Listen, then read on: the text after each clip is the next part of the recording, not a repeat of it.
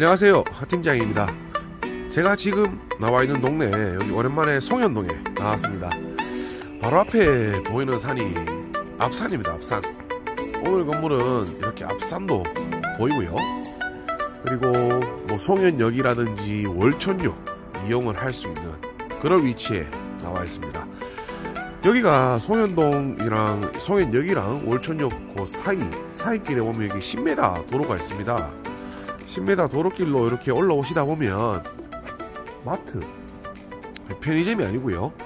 할인마트인데 24시간 운영을 한다고 하네요. 오늘은 이 마트 바로 뒤편에 이 매물을 어, 한 2년 전에 매매가 되었던 건데 요거를 현재 원가 정리 하신다고 해서 영상 촬영에 나왔습니다.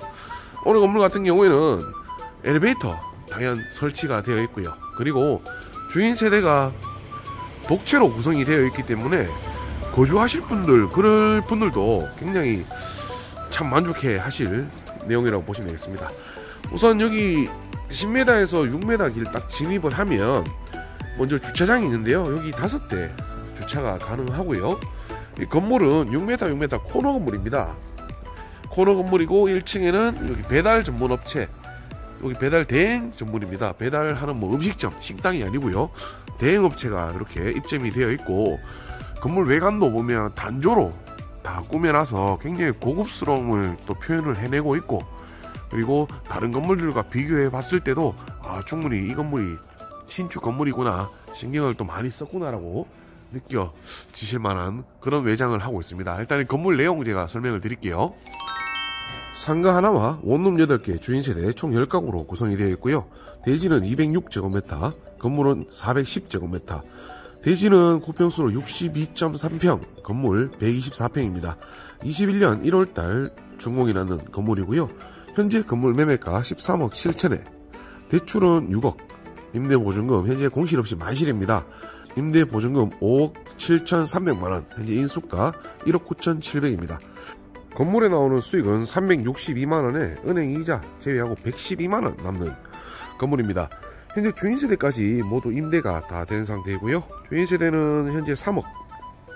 주인 세대 거주하시면 4억 9천7백에 거주하시고 인수하실 수 있다고 보시면 되겠습니다. 어, 오늘 건물 같은 경우에는 주인 세대가 어, 23년도죠. 23년 중반 한 8월 달쯤 이렇게 만기가 된다고 합니다.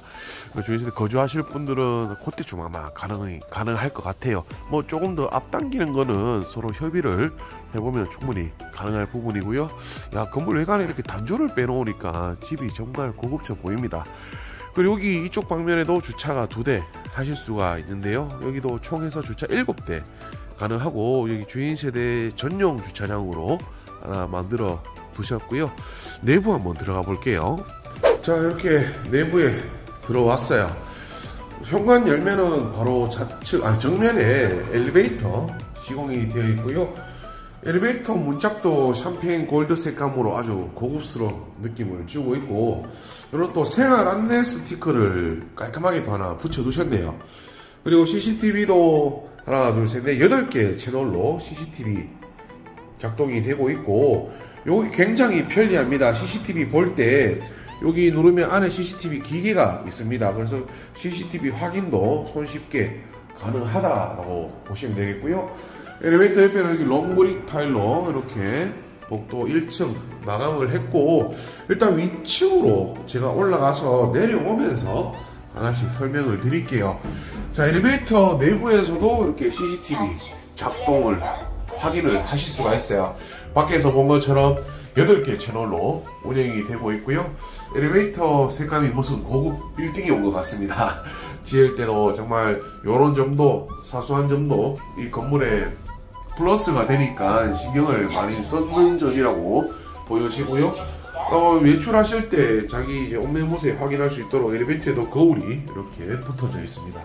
그리고 이제 주인 세대인데요. 주인 세대는 엘리베이터 내려서 독채로 주인 세대 바로 이용을 할 수가 있고 이 주인 세대가 위에 복층 구조로 되어 있습니다. 그 복층 구조로 되어 있기 때문에 넓은 주인 세대, 넓은 공간을 필요로 하시는 분들, 그런 분들은 오늘 주인 세대 뭐 보시면 아 공간이 딱 맞겠구나 하실 분들 참 많으실 것 같아요.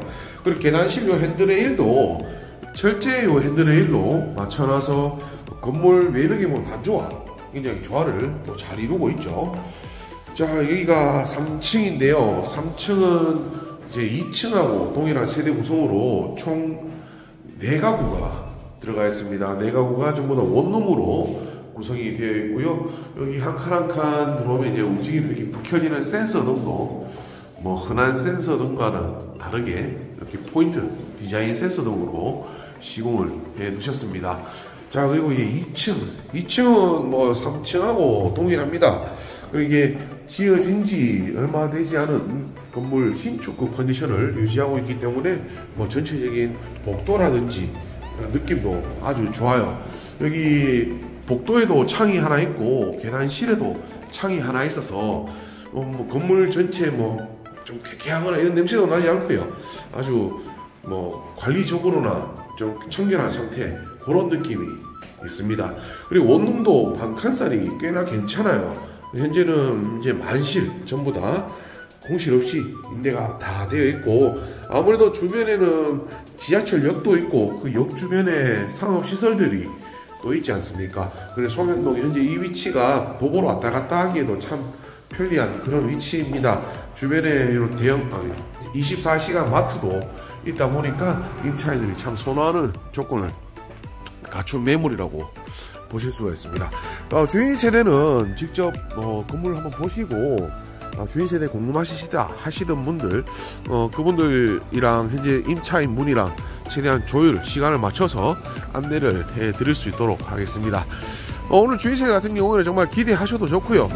어, 내부는 7로 마감이 되어 있고 복층 구조로 주방 공간이 또 넓게 잘 빠져 있습니다. 주인 세대 정말 기대하셔도 좋고 어, 현재 당장은 1억대 인수가 가능한 매물이라는 점 다시 한 번 더 설명을 드릴 수가 있겠네요. 영상은 여기서 마무리하고요. 앞으로도 좀 다양한 매물로 인사드릴 수 있도록 노력하는 팀장 되겠습니다. 감사합니다.